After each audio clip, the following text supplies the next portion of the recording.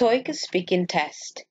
The TOEIC speaking test includes tasks that people might perform in work-related situations or in familiar daily activities that are common across cultures. The test assess English language speaking proficiency and do not require test takers to have a specialized knowledge of business.